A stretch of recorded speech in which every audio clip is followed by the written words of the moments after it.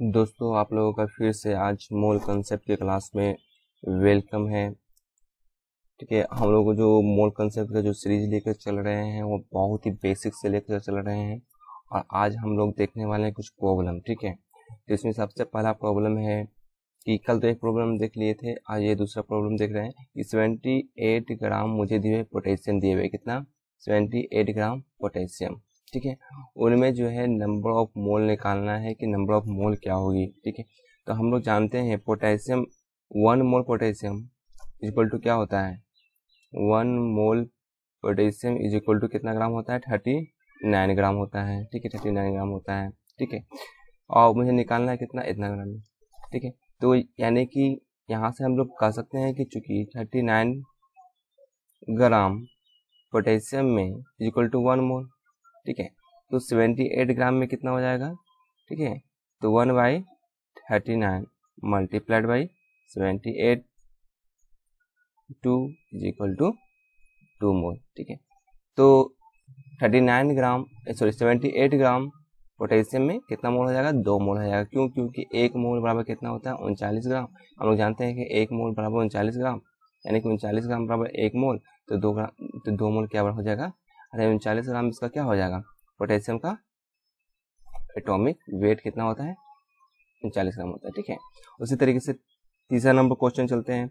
यहाँ पे दो ग्राम कैल्शियम दिए हुए ठीक है। कैल्शियम में क्या निकालना है? नंबर ऑफ़ इलेक्ट्रॉन की संख्या निकालने के इलेक्ट्रॉन कितना होगा? तो हम लोग जो रिलेशन हम लोग जानते हैं कि one mole one mole calcium is equal to चालीस ग्राम चालीस ग्राम इज़ इक्वल टू कितना?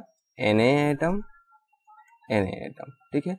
इक्वल टू कितना इलेक्ट्रॉन ठीक है? एन एटम वहाँ हम लोग भी निकाल सकते हैं। यहाँ पे डायरेक्ट भी लिख, सकते हैं कि जो इलेक्ट्रॉन इसका होगा। ठीक है तो यहाँ पे हम लोग क्या करेंगे करेंगे कि एन ए एटम है इज़ इक्वल टू कितना हो जाएगा? जो इसका एटॉमिक नंबर होगा वही इतना है इलेक्ट्रॉन होगा। हम लोग जानते हैं कि नंबर ऑफ़ इलेक्ट्रॉन यानी कि atomic number is equal to क्या होता है?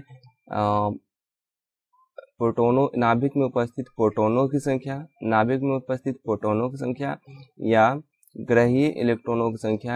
यानी कि जो प्रोटोन का जो चक्कर लगा, जो प्रोटोन का जो नाभिक का जो चक्कर लगा रहे होते हैं, इलेक्ट्रॉन होते हैं, उस इलेक्ट्रॉनों की संख्या होती है।